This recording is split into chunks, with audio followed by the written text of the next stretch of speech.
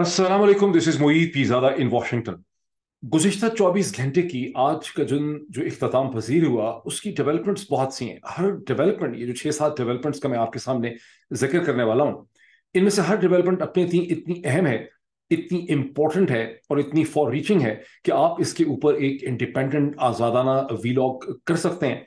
लेकिन मैं इनमें से दो डेवलपमेंट्स पिकअप करूँगा और उनकी डिटेल्स उनका डिटेल एनालिसिस आपसे शेयर करूँगा और ये भी मैं एक्सप्लेन करने की कोशिश करूँगा कि ये दोनों डेवलपमेंट्स आपस में जुड़ी हुई क्यों हैं और ये इतनी अहम क्यों है। लेकिन सबसे पहले मैं इन छह सात डेवलपमेंट्स का आपके सामने ज़िक्र कर दूँ।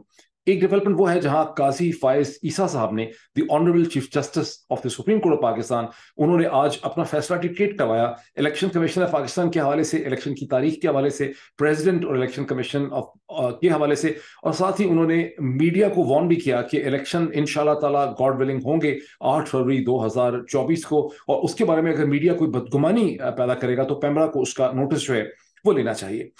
दूसरी तरफ़ हम देखते हैं कि तहरीक इंसाफ के सीनियर रहनुमा former speaker of the national assembly of Pakistan जनाब असद कैसर साहब को उनके घर से गिरफ़्तार कर लिया गया। उनके भाई ने एक छोटा सा वीडियो स्टेटमेंट रिकॉर्ड करवाई है जिसमें उन्होंने इसकी मजम्मत करते हुए ये भी कहा कि असद कैसर साहब के पास इन तमाम एफ़ आई आर और चार्जेस में आ, उनके पास बेल थी। उन्हें जिस तरह से गिरफ़्तार किया गया ये सिर्फ़ कानून का एक तमस्कर है और ये जो सब चीज़ें की जा रही हैं इसके अल्टीमेटली बड़े बुरे नतज मुरतब होंगे। इस चीज़ को भी समझने की ज़रूरत है।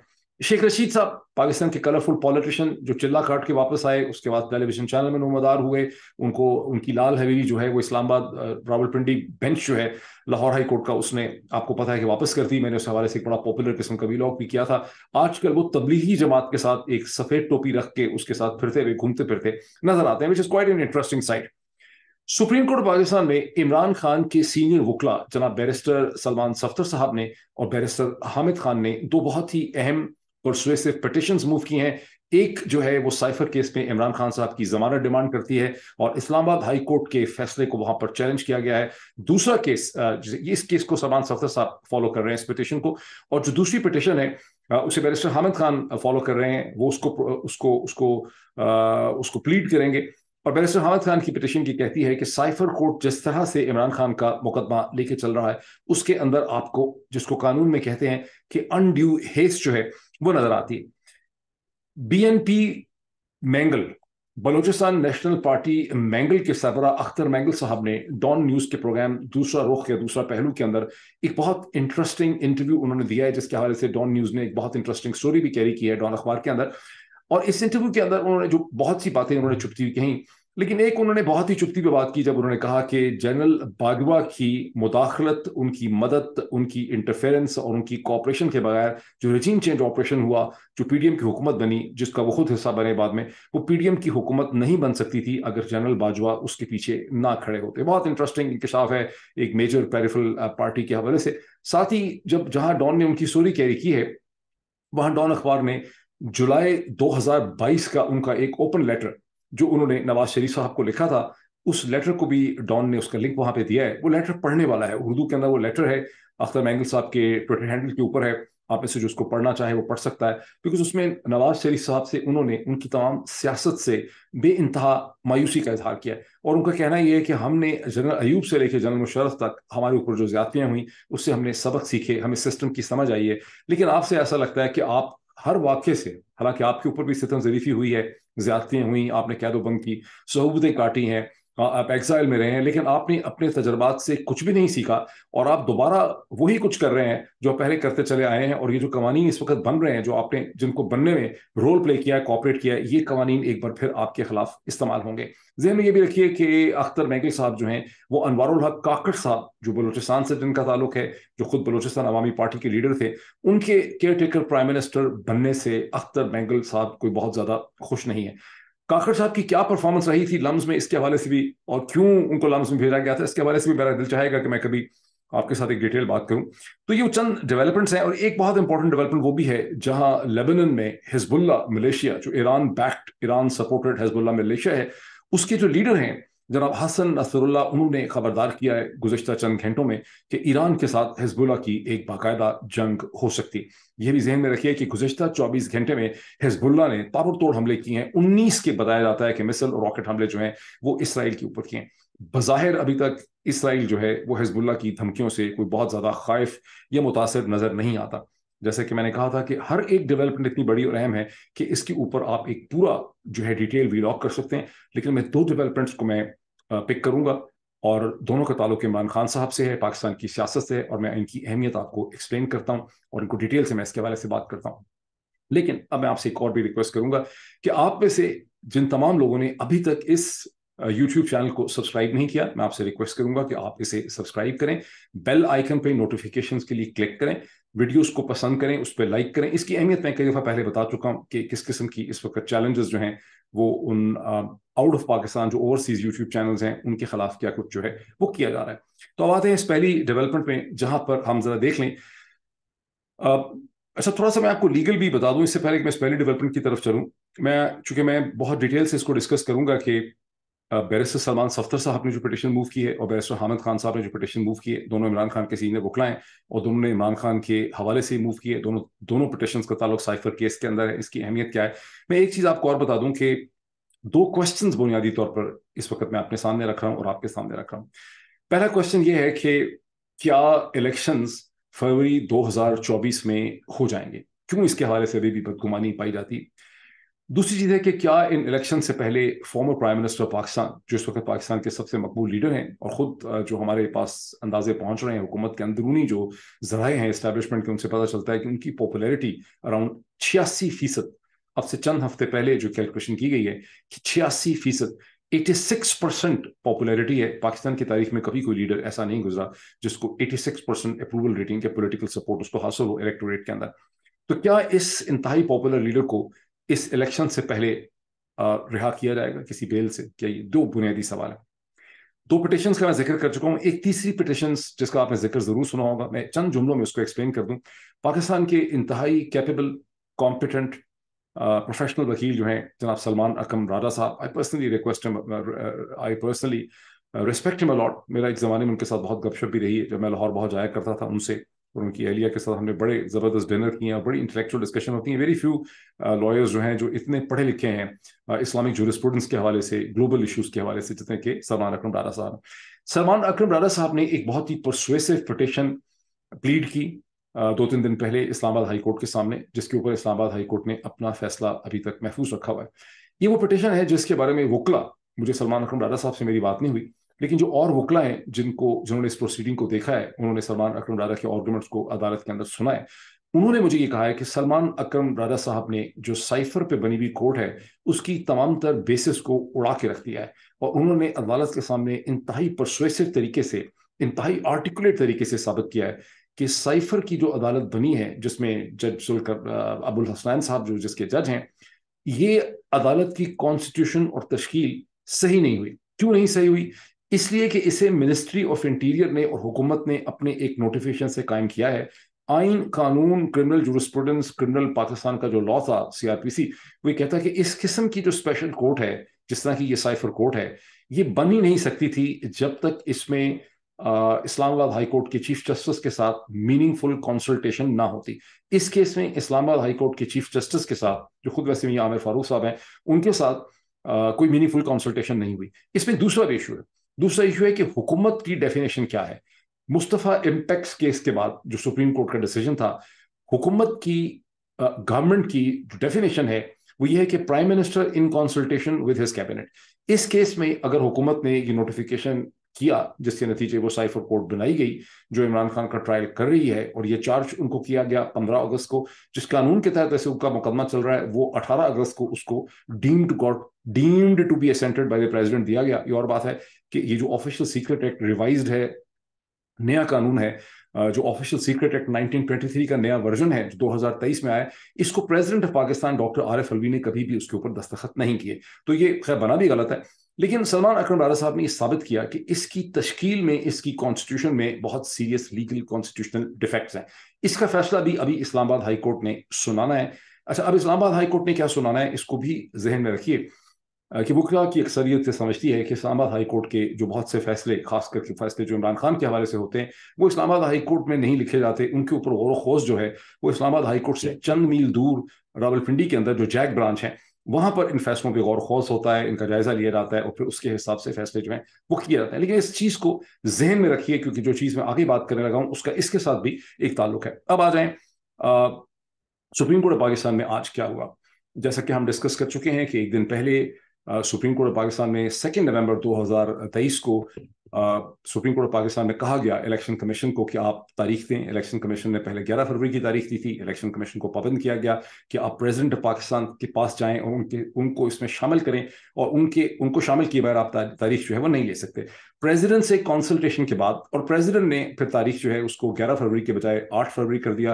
कुछ लोगों को शक है कि प्रेसिडेंट ने शायद यहाँ पे कोई गेम खेली है, क्योंकि उनका ख्याल है कि बजाय संडे के अगर आप इलेक्शन थर्सडे के दिन होता है तो कम लोग आएँगे। मेरा ख्याल है इलेक्शन के दिन छुट्टी होती है, ये आर्ग्यूमेंट नहीं है।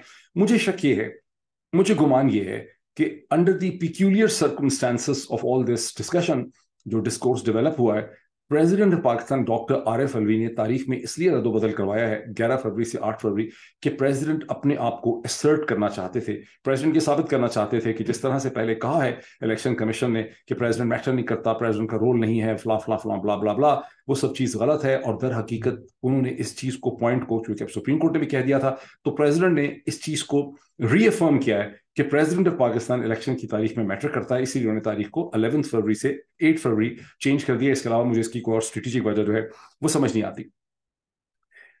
अच्छा अब इलेक्शन के हवाले से जो बड़ी इंटरेस्टिंग बात है कि बावजूद इसके, कि काजी फायजीसा साहब ने आज इसके हवाले से बड़ा सख्त उन्होंने लेक्चर दिया। उन्होंने कहा कि इलेक्शन इन ताला गॉड विलिंग ज़रूर होंगे और उन्होंने एक अपना ऑर्डर जो है इस हवाले से डिक्टेट करवाया। उस ऑर्डर में उन्होंने कुछ प्रेसिडेंट ऑफ़ पाकिस्तान को नाम लिया बगैर लताड़ा कुछ उन्होंने इलेक्शन कमीशन को, अल्लाह लताड़ा कुछ उन्होंने और चीज़ें उसमें बात की जिसका मैं अभी आपके सामने ज़िक्र करता हूँ। लेकिन इसके बावजूद कि मैं समझता हूँ कि इलेक्शन होंगे फॉर ऑल प्रैक्टिकल पर्पज मुझे लगता है कि 8 फरवरी 2024 ही को इलेक्शन होंगे and there is no reason to believe this thing कि अभी इलेक्शन नहीं होंगे अनलेस कि कोई ऐसी चीज़ हो जिसको कि हम एक्सपेक्ट नहीं करते। अभी भी पाकिस्तान के सियासी हलकों में, कानूनी हलकों में मीडिया में इसके हवाले से बदगुमानी, बेचैनी अनसर्टेनिटी चहमगोइयाँ जो हैं, वो पाई जाती हैं। ये चहमगोइयाँ सियासी हलकों के अंदर भी हैं। फॉर इंस्टेंस जब आप अख्तर मैंगल साहब का, जो पीएनपी के लीडर हैं, जिसका मैंने पहले भी ज़िक्र किया, उनका आप इंटरव्यू देखते हैं, उनकी और बातें देखते हैं, उस तरह के और लीडर देखते हैं। तो वो सब जो है अभी तक एक गैर यकीनी अनसर्टेनिटी क्या इजहार करते हैं कि ये इलेक्शन पता नहीं होने हैं कि नहीं होने अभी तो देखना है, अभी आगे डेवलपमेंट्स देखें। इसी तरह हामिद खान साहब से जब अदियाला जेल के बाहर इसके हवाले से बात की गई थी रिपोर्टर्स ने बात की थी सेकेंड नवंबर को ही सुबह सुबह तो उन्होंने भी ये कहा था कि अभी ये ग्यारह तारीख उस वक्त आई थी, पता नहीं इलेक्शन होंगे कि नहीं होंगे। इसी तरह मीडिया के बहुत से टेलीविज़न एंकर पर्सन और बहुत से जो वीलॉगर्स हैं, उन्होंने भी इस खदशे का इजहार किया है कि इलेक्शन अभी की कोई डन डील नहीं है कि इलेक्शन होते हैं कि नहीं होते।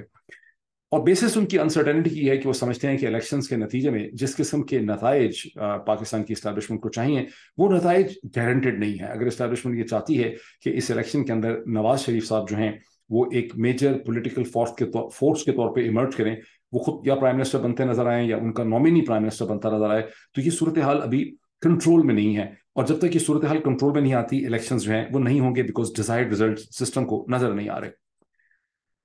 काजी फायजीसा साहब ने और हाँ और उसमें एक आर्गूमेंट ये भी है कि काजी ईसा काजी फायज ईसा साहब ने चीफ जस्टिस ने बड़ी सेंसियरिटी से, बड़ी बोल्डनेस के साथ उन्होंने ये कह तो दिया है, लेकिन इस तरह से फैसला तो उमर तबादयाल साहब ने भी किया था और बाद में वो नहीं हुआ। एक आर्गूमेंट ये भी है कि चूँकि आईएमएफ की टीम के साथ कल सेकेंड नवंबर को ही बातचीत हो रही थी इस्लामाबाद में, जिसमें अब पाकिस्तान को मजीद ज़ीरो पॉइंट सेवन बिलियन यानी सात सौ दस मिलियन डॉलर्स या सात सौ बीस मिलियन डॉलर्स मजीद चाहिए इस वक्त। ये सेकंड कैशे है। पहला आपको याद होगा कि जुलाई 2022 में जब आई एम एफ़ के साथ एग्रीमेंट ठहर गया था, नाइन्थ मई 2022 के वाकत के बाद, ये जहन में इसको कभी नहीं भूलना आपने। तो उसके बाद आई एम एफ़ ने एक इशारिया दो बिलियन डॉलर जो है वो रिलीज़ कर दिया थे। अब उसका सेकंड कैश रिलीज़ होना है, जो तकरीबन 700 या 710 मिलियन डॉलर का है। और लोगों का कहना यह भी है कि सिर्फ़ उस कैशे को लेने लेने के लिए, चूँकि आईएमएफ ने कहा था कि इलेक्शन की तारीख देनी है इलेक्शन होने हैं, इसलिए इलेक्शन की तारीख जो है, वो दे दी गई है। मैं समझता हूँ कि ये गलत आर्ग्यूमेंट्स हैं, क्योंकि आईएमएफ तो बिल्कुल ही कमज़ोर आर्गूमेंट है बिकॉज़ आईएमएफ की तलवार तो हर हफ़्ते और हर दो महीने के बाद लटकती रहेगी। अगर आप इलेक्शन अगर एक महीने, दो महीने के बाद लगेगा कि इलेक्शन नहीं हो रहे तो पाकिस्तान को पाकिस्तान आईएमएफ से जान छुड़ा नहीं सकता। और आप ये नहीं कह सकते कि आईएमएफ को आपने नवंबर 2023 में बेवकूफ़ बना दिया था, लेकिन आगे आप जाके कहेंगे कि अब इलेक्शन नहीं हो सकते और आईएमएफ से आपके ताल्लुक ठीक रहेंगे। और आईएमएफ जो पाकिस्तान के हालात हैं इस रजीम के, उसको आईएमएफ की ज़रूरत जो है वो रहनी है। तो मैं इसको बिल्कुल भी बाय नहीं करता। मैं समझता हूँ कि इलेक्शंस बुनियादी तौर पे इसलिए होने हैं कि जिन मगरबी ताकतों की और इंस्टीट्यूशंस की कंटिन्यूइंग सपोर्ट पाकिस्तान के रजीम को चाहिए, उनकी बहुत बड़ी रिक्वायरमेंट है कि पाकिस्तान के अंदर इंतबात हों। और उनकी जो सपोर्ट है पाकिस्तान के सिस्टम को, वो इसलिए नहीं है कि पाकिस्तान के मौजूदा निज़ाम के जो करता धरता हैं, इनकी उनको शक्लें बड़ी प्यारी लगती हैं, इनको उनसे, उनको इनसे कोई मोहब्बत है, कोई ख़ानदान की मोहब्बत है नहीं। उनको इससे कुछ आगे भी चाहिए। इंटरनेशनल रिलेशनशिप में हर ताल्लुक ट्रांजैक्शनल होता है इंटरनेशनल रिलेशनशिप के अंदर क्विड प्रो को होता है कि आप जब किसी के लिए कुछ करते हैं तो आपने किसी के लिए इन जवाबन कुछ करना होता है। तो ये जो सारी इनको सपोर्ट दी जा रही है इनको इसलिए दी जा रही है कि इन्होंने रीजनल मामला को सेटल करना है। उसको बहुत ही पोलाइटली अगर आप रेफर करें तो इनको हिंदुस्तान को एंगेज करना है, जो अमेरिका और मगरब के ममालिक की वेस्ट की प्रिंसिपल रिक्वायरमेंट है। और एंगेज तो बड़ी पोलाइट डिप्लोमेटिक टर्म है, बुनियादी तौर पर पाकिस्तान को हिंदुस्तान के नीचे लगना है और हिंदुस्तान को सरेंडर करना है और साउथ एशिया के अंदर हिंदुस्तान की एसेंडेंसी को एक्सेप्ट करना है। ये चीज़ इस्टेब्लिशमेंट खुद से नहीं कर सकती, इसके लिए उसको एक बज़ाहिर सीमिंगली एक एक्सेप्टेबल पॉलिटिकल फेस चाहिए और ये इलेक्शन इसलिए करवाने ज़रूरी हैं कि इसके नतीजे में एक एक्सेप्टेबल पॉलिटिकल अरेंजमेंट ऐसा सामने आए जो हिंदुस्तान के साथ डील कर सके। फिर ज़ाहिर है, हिंदुस्तान को कहा जाएगा कि भाई इनको थोड़ा सा कोई स्वीटनर वाला जो है, आप इनको दे दें। तो ये एक सूरत हाल है। अब अनलेस की कोई ऐसी अनएक्सपेक्टेड डेवलपमेंट हो जाए, जिसका मैं इस वक्त तो नहीं कर सकता, मेरा ख्याल है कि इलेक्शन जो है, वो फरवरी 2024 के अंदर हो जाएँगे। मैं अपने नोट्स देखना चाह रहा था। एक पॉइंट बहुत इंपॉर्टेंट है कि तमाम लोग जो ये तासर देने की कोशिश कर रहे हैं कि काजी फायज ईसा साहब ने the honourable chief justice of Pakistan ने इलेक्शन के हवाले से जो फैसला किया, ये शायद कोई उनका उन्होंने कोई कॉन्स्टिट्यूशनल फैसला किया है, कोई आज़ादाना फैसला किया है उन्होंने कोई ज़रूरत और बहादरी का मुजाहरा किया, ऐसा बिल्कुल भी नहीं है। काजी फायज ईसा साहब ने पूरे सिस्टम के स्क्रिप्ट के एन मुताबिक के फैसला किया। जैसे कि मैंने आपको पहले बताया कि सुप्रीम कोर्ट बार एसोसिएशन की पटिशन जो है, वो सोलह या सत्रह अगस्त को सुप्रीम कोर्ट के सामने आ चुकी थी। उमर अथवा बंदयाल साहब ने इस पे बेंच नहीं बनाया, इसको उन्होंने टेकअप नहीं किया। ट्रांजिशन हो गई चीफ जस्टिस बन गए काजी फायजीसा साहब सत्रह सितंबर को। लेकिन सत्रह सितंबर से लेकर चौबीस अक्टूबर तक उन्होंने इसकी हियरिंग नहीं की। पहली हियरिंग जब उन्होंने इसकी चौबीस अक्टूबर को की और उनसे आबिद जुबैरी साहब ने ये रिक्वेस्ट की कि आप इसके हवाले से पैरावाइज कमेंट्स ले लें इलेक्शन कमीशन के और जो काउंसिल ऑफ़ कॉमन इंटरेस्ट का फैसला था पाँच अगस्त का, उसको सस्पेंड कर दें बिकॉज़ वो गलत था। तो उन्होंने से एग्री भी नहीं किया और साथ उन्होंने एक बड़ा इंटरेस्टिंग कॉमेंट किया था चौबीस अक्टूबर दो हज़ार तेईस को। उन्होंने कहा कि बहुत जल्दी इलेक्शन की तारीख आ जाएगी। तो काजी फायजीसा साहब इलेक्शन के पूरे प्रोसेस के साथ इन टच थे और एक दिन पहले, दो नवंबर को और उससे पहले इलेक्शन कमीशन खुद कह चुका था कि जनवरी के आखिर में इंतबात वो करवा सकता है और दो नवंबर को सुप्रीम कोर्ट ऑफ़ पाकिस्तान के सामने इलेक्शन कमीशन ने 11 फरवरी की तारीख रखी। तो election commission of Pakistan Chaudhry Nizamuddin का पूरा निज़ाम, उनकी तमाम पॉलिटिकल रिक्वायरमेंट्स और काजी फाइज ईसा साहब जो हैं, वो आपको एक सिंक में नज़र आते हैं। कल कल अगर कोई ऐसी सूरत हाल पैदा हो जाती है, खुदा खासा जिसे हम एक्सपेक्ट नहीं करते और निज़ाम और इस्टेबलिशमेंट इलेक्शन नहीं कराना चाहते तो काजी फाइज ईसा साहब उसमें भी इसी तरह से ऑन बोर्ड होंगे, जिस तरह ये सेकेंड और थर्ड नवंबर के फैसले में वो ऑन बोर्ड है। अब काजी साहब ने जो फैसला डिक्टेट करवाया, उससे काजी साहब की जो ऑनरेबल चीफ जस्टिस की एक पिक्यूलियर स्टेट ऑफ़ माइंड एक रिएक्टिव माइंडसेट भी रिवील होता है। ये दूसरा या तीसरा मौका है जहाँ पर अपनी हर बात करते हुए वो प्रेसिडेंट डॉक्टर आरिफ अलवी की तरफ़ इशारा करते हैं और उनकी जो इशारा और रेफरेंस होता है, उसके अंदर एक दुख, गम, गुस्सा जो है वो आपको नज़र आता है। फ़ौरन से जो उन्होंने अपना फैसला डिक्रेट करवाया, उसमें उन्होंने कहा कि president of Pakistan doctor Arif Alvi ने थर्टीन सितंबर को, तेरह सितंबर को इलेक्शन कमीशन को जो खत लिखा, उसमें कहा कि इलेक्शन कमीशन को सुप्रीम कोर्ट को कंसल्ट करना चाहिए। और ये पता नहीं उन्होंने क्यों लिखा, उनको ये नहीं लिखना चाहिए था, ये खत उनका गलत लिखा बिकॉज़ इलेक्शन की तारीख देने के साथ सुप्रीम कोर्ट का कोई ताल्लुक नहीं। काजी फायज ईसा साहब तो ऑनरेबल चीफ जस्टिस की भूल ही गए कि प्रेसिडेंट ने as per the process and convention election commission से तारीख के हवाले से मुशावरत करनी चाहिए। इलेक्शन कमीशन ने आगे से ये सुनाया उनको कि नया कानून चूँकि बन चुका है, चूँकि इलेक्शन एक्ट 2017 अमेंड हो गया है, इसलिए इसमें अब प्रेसिडेंट का कोई रोल नहीं है। और प्रेसिडेंट को उसी की मिनिस्ट्री ऑफ़ लॉ ने भी एडवाइस दी कि आपका इलेक्शन की तारीख के साथ कोई रोल नहीं है। इसके बाद प्रेसिडेंट ने फिर एक खत लिखा जो अपना उन्होंने, जो थर्टीन सेप्टेम्बर का खत है, जिसका इशारा देते हैं चीफ जस्टिस और उस खत में प्रेसिडेंट ने इलेक्शन कमीशन को कहा कि आपको इसमें सुप्रीम कोर्ट की ओपिनियन ले लेनी चाहिए। क्यों ले लेनी चाहिए? इसलिए कि जिस चीज़ से बहुत कम लोग वाकिफ हैं पाकिस्तान के अंदर, जो लोग supreme supreme supreme supreme supreme court कहते रहते हैं, जैसे राना सनाउल्ला साहब सुप्रीम कोर्ट कहते हैं तो कि बहुत कम लोग जो सुप्रीम कोर्ट का लफ्ज इस्तेमाल करते हैं, वो कॉग्निजन लेवल पे, शौरी तौर पर इस चीज़ से वाकिफ हैं कि पाकिस्तान की supreme court just like any other supreme court in the world is basically a constitutional court ये कोई महज अपेलेट कोर्ट नहीं है, जहाँ मुकदमे रेप के नीचे से या कत्ल के मुकदमे या किसी प्रॉपर्टी के मुकदमे आते हैं। ये बुनियादी तौर पे खालिस्तान एक कॉन्स्टिट्यूशनल कोर्ट है, एक आइनी कोर्ट है। और जब आइन की इंटरप्रिटेशन पे झगड़ा हो, जिस तरह से कि president of Pakistan ministry of law और इलेक्शन कमीशन ऑफ़ पाकिस्तान के दरमियान में, ये पीडीएम की जमातों के दरमियान एक मसला खड़ा हो गया कि आइन की असल इंटरप्रिटेशन क्या है तो फिर सुप्रीम कोर्ट ऑफ़ पाकिस्तान ने उसका हल निकालना है। इन इन एनीथिंग अगर कोई वाहिद हमें इसमें से चीज़ नज़र आती है कि supreme court of Pakistan has visibly and remarkably failed again and again और इलेक्शन की जो नब्बे दिन की तारीख थी, इसमें भी सुप्रीम कोर्ट ऑफ़ पाकिस्तान ने इसको लटकाया, अपनी रिस्पॉन्सिबिलिटी को पूरा नहीं किया और जब सिस्टम ने सिग्नल कर दिया कि अब हम इलेक्शन के लिए तैयार हैं by the end of January या फरवरी और पहले ही राजा रियाज साहब और कुछ और लीडर जो हैं वो ऑन रिकॉर्ड थे टेलीविज़न चैनल्स पे जो कहते थे कि इलेक्शन जो है, वो कई हफ्तों पहले से ये कह चुके थे कि इलेक्शन कहीं फरवरी 2014 के पहले हफ़्ते में होंगे। इससे आपको पता चलता है कि सारी चीज़ जो है, उसमें कोई आईनी चीज़ नहीं है, कोई कानूनी चीज़ नहीं है। जो पॉलिटिकल रिक्वायरमेंट पूरी हो गई है गवर्निंग एलिट की तो उसके हवाले से इलेक्शन की तारीख रखी गई। ये मेरा इसके हवाले से एनालिसिस है। लेट्स सी कि कौन सही साबित होता है। अब हम इस चीज़ के ऊपर आ जाते हैं कि काजी साहब ने प्रेसिडेंट के बारे में क्यों वो रेफरेंस बार बार करते हैं? इसलिए कि जो उनका रेफरेंस काजी फायजीसा साहब का रेफरेंस जो प्रेसिडेंट ऑफ़ पाकिस्तान ने भेजा, जो मैं बारहा कह चुका हूँ कि नहीं भेजना चाहिए था, और जिसके बारे में पी एम एल एन के लोग बड़ा मज़ाक उड़ाते हैं कि बाद में इमरान खान ने कहा कि हमसे गलती हुई है। पहली तो बात है कि इमरान खान जैसा कैसा भी है, ये पाकिस्तान की तारीख का पहला सियासी लीडर है, जिसने अपने बारहा बहुत से जो एग्जेक्टिव एक्शन किए थे, उनके बारे में उसने बाद में रिफ्लेक्ट करते हुए कहा कि मुझे वो चीज़ नहीं करनी चाहिए थी। हमसे वो चीज़ उस वक्त फला साल में गलत हुई। हम नए थे, ना तजर्बाकार थे, हमारा एक्सपीरियंस नहीं था, हमें इसका नहीं पता था। ये किसी शख्स की कमज़ोरी नहीं, ये एक शख्स की अजमत, उसकी स्ट्रेंथ ऑफ़ कैरेक्टर का यहाँ से हमें पता चलता है। तो इमरान खान साहब ने सिर्फ़ इस फैसले के बारे में नहीं कहा कि हमें रेफरेंस नहीं भेजना चाहिए था। जो काजी फायजीसा के हवाले से भेजा गया, बल्कि इमरान खान ने बहुत सी चीज़ों के हवाले से ऐसा कहा है और पाकिस्तान का कोई और सियासी लीडर ऐसा नहीं है। आपको, आप सबको देख लें जिसमें से किसी ने दिले खुले दिलो दिमाग से ये कहा हो कि मैंने फला ज़माने में जो मैंने डिसीज़न किया था, वो डिसीज़न गलत था। बहरहाल कमिंग टू दी थिंग जो दो पिटिशन मूव की हैं जनाब एक सलमान सफदर साहब ने और दूसरी हामिद खान साहब ने, इन दोनों पिटिशन के ऊपर अभी सुप्रीम कोर्ट के ने बेंच जो है वो नहीं बिठाया। और बेंच बहुत इंपॉर्टेंट है, इसको जहन में रखिए। अब बेसिकली जो पिटिशन है आ, मैंने दोनों पिटिशंस पढ़ी हैं मैंने मंगवाई दोनों पिटिशंस इसी वजह से मुझे ये लॉक करते देर हो गई। मैंने दोनों पिटिशंस पढ़ी हैं। सलमान सफदर साहब की पिटिशन साइफर केस में जो इस्लामाबाद हाई कोर्ट ने फैसला किया ये उसके खिलाफ है जहाँ इमरान खान साहब की जो बेल जमानत की दरख्वास्त को इस्लामाबाद हाई कोर्ट ने रद्द कर दिया बैरिस्टर सलमान सफदर साहब की ये पिटिशन बहुत ही वेल रिटन है परसुएसिव है मौसर है और अगर इस पर वाकई कोई कानूनी फैसला एप्लीकेशन माइंड हो तो इसको रद्द करना बड़ा मुश्किल नज़र आता है। मैं आपको एक्सप्लेन करता हूँ क्यों। सबसे पहले ये पिटिशन की कहती है कि इस्लामाबाद हाई कोर्ट ने बेल के ऊपर 20 सफात का फैसला लिखा है, चार दिन इसके ऊपर समाप्त की है। दस घंटे से ज़्यादा की लीगल टाइम जो है इसके ऊपर लगाया है।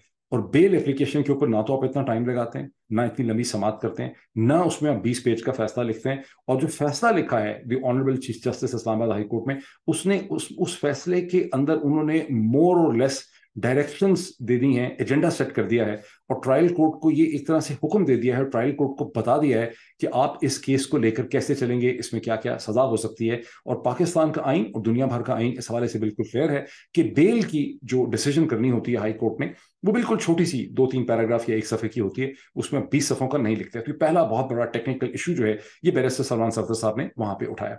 दूसरा उनका कहना यह है कि ये जो चार्ज है, ये जो एफ़ है ये मिनिस्ट्री ऑफ़ इंटीरियर वजारत दाखिला ने की है।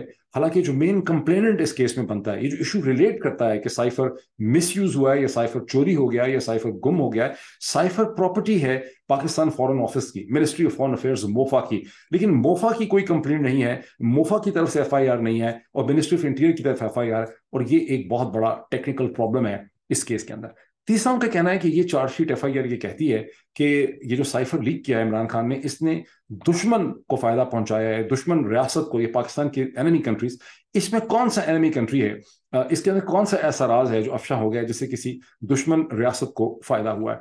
ये पिटिशन ये भी कहती है कि ऑफिशियल सीक्रेट एक्ट जब से बना है, इसकी पूरी कंसेप्शन ये पॉइंट मैंने पहले अपने वीलॉग्स में भी उठाया था, अब ये एक ऑफिशियल पिटिशन में आ गया है, जो सुप्रीम कोर्ट पाकिस्तान के सामने है, कि जो ये पिटिशन है जो ये ऑफिशियल सीक्रेट एक्ट है, इसका अतलाक होता है मिलिट्री ऑफिसर्स के ऊपर नेवल ऑफिसर्स के ऊपर एयरफोर्स के ऑफिसर्स के ऊपर, या इंटेलिजेंस के ऑफिसर्स के ऊपर। ये ऐसे लोग जिनके पास कोई न्यूक्लियर सीक्रेट हो, कोई वेपन के सीक्रेट हो, कोई सिस्टम के सीक्रेट हो, कोई रियासत के बॉर्डर के डिफेंस के सीक्रेट्स हो, जो वो किसी दुश्मन की रियासत के साथ शेयर करते हैं ऑफिशियल सीक्रेट्स को लीक कर देते हैं, जिससे कि रियासत के जो मटेरियल स्ट्रक्चरल इंटरेस्ट हैं, उन्हें नुकसान पहुँचता है। यहाँ ऐसे कौन से इंटरेस्ट हैं जिन्हें नुकसान पहुँच गया? फिर उसमें उन्होंने ये भी वाजे किया कि सीक्रेट जो है सीक्रेट क्या चीज़ थी? इस ऑफिशियल जो ये कहा गया है कि साइफर से सीक्रेट अफशा कर दिए गए हैं। एक साइफर जिसकी दो दफ़ा नेशनल सिक्योरिटी कमेटी के सामने प्रेजेंटेशन होती है, उस पर अखबार कमेंट करते हैं। उसकी बेसिस पे और पाकिस्तान के सारे अंग्रेज़ी के अखबार उर्दू के अखबार थर्टी थ्री टेलीविज़न चैनल्स दुनिया भर के अखबार उसके ऊपर कमेंट करते हैं, उसको रिपोर्ट करते हैं। फिर नेशनल सिक्योरिटी कमेटी कहती है कि ये इंटरफेरेंस है, ये साजिश नहीं है। तो ज़ाहिर है उसके ऊपर एक एप्लीकेशन अमाइंड होता है, फिर उसकी स्टोरी बनती है। फिर उस पर अमरीका की एम्बेसी को चार्ज दी अफेयर को बुला के उसको डिमार्शे इशू किया जाता है। तो फिर उसकी खबरें बनती हैं, फिर उसकी डिस्कशन होती है, फिर दुनिया भर का उसको मीडिया कवर करता है। इसमें वो कौन सी चीज़, वो कौन सा एलिमेंट है, वो कौन सा इंग्रेडिएंट है, जिसके बारे में ये F I R ministry frontier की समझती है कि सीक्रेट जो है, वो निकल गए फिर ये परेशान ये भी कहती है कि जब कासिम सूरी साहब का केस सुप्रीम कोर्ट पाकिस्तान ने, जब चीफ जस्टिस उमर साहब बंदयाल थे, उस केस को वहाँ सुना तो वहाँ पर जो फैसला लिखा सुप्रीम कोर्ट ने तो उसमें मोर और लेस साइफर के सारे कंटेंट जो है कि इसमें ये भी है, इसमें ये भी है, ये भी है, उसका भी ज़िक्र कर दिया। फिर ये पिटिशन ये भी कहती है कि आई के जब साइफर को अगर आप सात मार्च 2022 से साइफर का एग्जिस्टेंस शुरू कर लें और इमरान खान की हुकूमत खत्म हो जाती है 9 अप्रैल को तो 32 या 33 दिन तक साइफर के मारे से वजूद में आने के बाद, यानी अगर साइफर पाकिस्तान आ जाता है, उसके बाद 32 या 33 डेज़ तक इमरान खान प्राइम मिनिस्टर रहता है। उसके बाद 169 डेज़ तक शहबाज शरीफ साहब के ये साइफर पोजेशन में रहता है, वो प्राइम मिनिस्टर रहते हैं। क्या वजह है कि एफ़ आई ए ने शहबाज शरीफ साहब से इस हवाले से कोई इंक्वायरी और इन्वेस्टिगेशन जो है नहीं की? ये पिटिशन ये भी कहती है, ये बहुत परसेसिव पिटिशन है, कहती है कि शहबाज शरीफ साहब ने जब अप्रैल की 22 तारीख को या 20 इक्कीस तारीख को उन्होंने second time national security committee की मीटिंग बुलाई और उसके सामने उन्होंने साइफर का मामला रखा। तो अगर साइफर की वो कॉपी जो प्राइम मिनिस्टर ऑफ़िस की कॉपी थी पीएमओ की कॉपी अगर गुम थी तो उस वक्त 20 अप्रैल को यह क्यों ना पता चल सका शहबाज शरीफ साहब को, उनके प्रिंसिपल सेक्रेटरी को, उनके स्टाफ को कि साइफर जिसको डिस्कस करने लगे हैं नेशनल सिक्योरिटी कमेटी के अंदर, उसकी प्राइम मिनिस्टर की ऑफ़िस की कॉपी जो है वो गुम है। ये पिटिशन ये कहती है कि हमें ये लग रहा है कि जब एफआईए को पाँच महीने के बाद ये कहा गया कि साइफर की कॉपी गुम है, उसको अप्रैल में नहीं कहा गया, मई में नहीं कहा गया, जून में नहीं कहा गया, जुलाई में नहीं कहा गया, सितंबर, अक्टूबर में जाके कहा गया, और और वैसे भी अप्रैल में तो उसको बताना बनता ही था। जब प्राइम मिनिस्टर की मीटिंग हो रही है प्राइम मिनिस्टर ऑफ़िस के अंदर नेशनल सिक्योरिटी कमेटी की मीटिंग हो रही है तो वहाँ तो आपको पता चलना ही था कि साइफर की प्राइम मिनिस्टर की कॉपी गुम हो गई कॉपी गुम हो चुकी। तो इसकी वजह यह समझ आती है कि जब एफ़ का जो पिछला केस था जो फॉरेन फंडिंग या प्रोहिबिटेड फंडिंग के हवाले से था, जब वो कोलैप्स हो गया, जब वो आगे ना चल सका तो एक आफ्टर थॉट के तौर पे साइफर का केस बनाने का फैसला जो है, वो किया गया। फिर ये कॉपी ये भी कहती है प्रोसिक्यूशन कि, आप ये देखें, ये बहुत इंटरेस्टिंग पॉइंट ये तो मेरे सामने सबसे ज़्यादा इंटरेस्टिंग पॉइंट है कि ये जो एफआईआर है मिनिस्ट्री ऑफ़ इंटीरियर की एफआईए की, इसके अंदर साइफर को आठ दफ़ा साइफर के कंटेंट्स को रेफर किया गया है। और इल्ज़ाम यह है कि साइफर को मिसरिप्रजेंट किया है, इमरान खान ने उसको उसको एक्सप्लॉयट किया है, लेकिन उसके अंदर साइफर की वो ओरिजिनल कॉपी जिसके कॉन्टेंट्स को एक्सप्लॉयट किया गया है, वो लगाई नहीं गई। अब ये इमरान बैरिस्टर सलमान सफ्तर इस पिटिशन में कह रहे हैं कि जब तक हमें आप ओरिजिनल साइफर की कॉपी कॉपी जो आप ये कहते हैं बार बार मैं कॉफ़ी कह रहा हूँ शायद ख्याल मुझे कॉफ़ी की ज़रूरत है। तो ये जो ओरिजिनल कॉपी है ये आपने लगाई ही नहीं ये आप अदालत के सामने ला ही नहीं रहे प्रोसिक्यूशन उसको डिफेंस को एग्जामिन करने ही नहीं देता। तो आप हमें कैसे ये साबित कर रहे हैं कि वो क्या चीज़ है उसका कोई कंपैरिजन हमारे पास कहाँ से आएगा? हम किसके साथ उसको कंपेयर करें कि ये असल डॉक्यूमेंट था डॉक्यूमेंट एक्स जिसको कि हमने मिस कर लिया इसको हमने गलत प्रेजेंट किया। सो so, और फिर ये कि ये ट्रायल जो है, ये इसमें अरेस्ट भी सीक्रेट तरीके से हुआ और ये ट्रायल भी सीक्रेट तरीके से चल रहा है। अब ये मैंने आपको सारी कहानी इसकी सुना तो दी है और दूसरी पिटिशन अभी मैं नहीं आपके सामने ज़िक्र करता जो ट्रायल के हेस्टीनेस के हवाले से अब क्वेश्चन ये होता है कि सुप्रीम कोर्ट ऑफ़ पाकिस्तान क्या करेगी? इसका तमाम तर दारोमदार इस चीज़ पे है कि सुप्रीम कोर्ट का बेंच किस किस्म का बनता है? और बेंच बनना एक पॉलिटिकल डिसीज़न है। प्रैक्टिस एंड प्रोसीजर के बाद बहुत दुहाई दी गई। पाकिस्तान का मीडिया कभी भी क्रिटिकल कोई चीज़ एनालाइज नहीं कर सकता तो डिस्क्रिप्टिव मीडिया है बेसिकली तौर पे। तो उस डिस्क्रिप्टिव मीडिया में ये बताया गया कि प्रोसेस बड़ा इंप्रूव हो गया है। जैसे कि प्रैक्टिस एंड प्रोसीजर बिल में पीडीएम ने सुप्रीम कोर्ट के पूरे प्रोसेस को इंप्रूव करने के लिए उन्होंने वहाँ पर शोशा छोड़ दिया कि चूँकि सुप्रीम कोर्ट के चीफ जस्टिस उमरता बंदयाल से शिकायत थी, वो बेंच बनाते हैं। तो बेंच जो है वो चीफ जस्टिस के अलावा दो सीनियर सीनियर प्यूनी जज जो सीनियर मोस्ट जज जो है, उनको मिलके वो बेंच जो है बनाना चाहिए। तो इस वक्त अब और, मेरी अंडरस्टैंडिंग ये है मुझे शक ये है मुझे गुमान ये है कि जब ये ये ये तरीका बनाया गया ये प्रोसेस बनाया गया तो अच्छी तरह से पता था कि तारिक मसूद साहब थर्ड नंबर के जज हैं, सिर्फ़ दरमियान में एक नापसंदीदा शख्सियत पाई जाती हैं जस्टिस इजाजुल एहसन तो ये कानून बना देने से चीफ जस्टिस काजी फाइज ईसा साहब की बेंच बनाने की जो कैपेसिटी ताकत और उनकी जो एबिलिटी है, उस पर रत्ती भर फ़र्क नहीं पड़ेगा। बिकॉज़ ऑनरेबल चीफ जस्टिस जनाब काजी फाइज ईसा साहब and honourable justice Tariq Masood साहब, सरदार तारिक मसूद साहब बिल्कुल एक ही धड़े के हैं, एक ही ब्लॉक है, एक ही जहन है, एक ही उनका दोनों का माइंड है और दोनों एक ही तरह से हर चीज़ के बारे में सोच सकते हैं, जो कि गुजशत पूरे एक साल के केसेस से हमें, हमारे सामने जो है वो वाजे हो चुकी है। जो बेंच बनेगा इमरान खान की इस पिटिशन पे, वो दोनों मिलकर बनाएँगे और ज़ाहिर है उसमें दादुल एहसन साहब का ज़ोर नहीं चल सकेगा। अब अगर तो ये बेंच में आप देखें कि एक ऐसा बेंच बन जाता है, जिसमें जस्टिस दिजाजुल एहसन साहब हैं, उसमें मुनीब अख्तर साहब हैं, उसमें ज़ाहिर अली अकबर नकवी हैं, उसमें आयशा मलिक हैं, और उसमें एक जज साहब दूसरी तरफ़ से आ जाते हैं या आफरीदी आ जाते हैं बंदो खेल साहब आ जाते हैं, या उसके अंदर, या उसके अंदर अमीनुद्दीन साहब आ जाते हैं। तो आप समझें कि यहाँ पर बेल हो जाएगी। अगर आप देखते हैं कि बेंच ऐसा बन जाता है, जिसमें दो जज साहिबान में से या अफरीदी साहब आ जाते हैं, अमीनुद्दीन खान साहब आ जाते हैं, सरदार तारिक मसूद आ जाते हैं जब जमाल मंदो खेर साहब आ जाते हैं काजी फाइजी खुद उसमें बैठ जाते हैं। तो फिर आप समझें कि बेल मिलनी इमरान खान को खासी मुश्किल है। मैं क्या कह रहा हूँ? मैं कह रहा हूँ कि पाकिस्तान की अदालतों के फैसले पोलिटिकल बुनियादों पर होते हैं, कानून के प्रिंसिपल्स पर नहीं होते। तमाम ये जो पिटिशन है, ये सुप्रीम कोर्ट ऑफ़ पाकिस्तान का बहुत बड़ा टेस्ट है। बिकॉज़ आपने ट्रायल कोर्ट को चेक कर लिया, आपने हाई कोर्ट को चेक कर लिया प्रिंसिपल लॉ के ऊपर अब सुप्रीम कोर्ट रह जाती है। क्या सुप्रीम कोर्ट भी वही फैसला करेगी जो इस्टेब्लिशमेंट चाहता है? ये बहुत बड़ा टेस्ट है, ये सवाल है। मेरा जजमेंट क्या है? मेरा एनालिसिस क्या है? मेरा एनालिसिस ये है कि इमरान खान को बेल पे रिहाई मिलनी है, नहीं मिलनी, इसका फैसला पिंडी में होना है, इसका फैसला इस्लामाबाद के अंदर नहीं होना। और ये इस चीज़ पे होगा कि क्या इमरान खान सफिशेंटली वीक हो चुके हैं? क्या इस मौके पे अगर इमरान खान को, जो मैंने पिछले वी वीलॉग में आपको एक्सप्लेन किया था, कि अगर इमरान खान को रिहाई दे दी जाए तो पहला तो ये होगा कि क्या इमरान खान के साथ एक डील हो सकती है? क्या इमरान खान को हमारी ताकत की और हमारी अहमियत की इतनी समझ आ चुकी है कि Imran Khan can play ball with us in a careful way ताकि लोगों को ना भी पता चल सके। लेकिन इमरान खान और हमारे दरमियान क्या कोई इक्वेशन बन सकती है कि हम इमरान खान को बाहर निकल के अपनी पार्टी को इलेक्शन में ले जाने की इजाज़त दे दें ये पहली कंसिड्रेशन होगी। दूसरी कंसिड्रेशन ये भी हो सकती है कि हमारी इक्वेशन तो नहीं बन रही इस पागल आदमी के साथ। लेकिन यह है कि हमने इसकी पार्टी को इतना तोड़फोड़ दिया, इतना तितर बितर कर दिया, इतना डिसफंक्शनल कर दिया, इतना डिसऑर्गेनाइज कर दिया है कि अगर इमरान खान बाहर भी निकले और चीखें मारता भी रहे पार्टी को इकट्ठा करने के लिए तो ये पार्टी को इलेक्शन के लिए प्रिपेयर नहीं कर सकेगा। जैसे कि मैंने आपको एक्सप्लेन किया था कि कई सौ और लोग हैं जिनके खिलाफ एंटी टेरर एक्ट के मुकदमे बनाए जाएँगे ताकि उनको डरा के धुरा दिया जाए, उनको एब्सकॉन करवा दिया जाए। तो ये कंसिडरेशन हैं।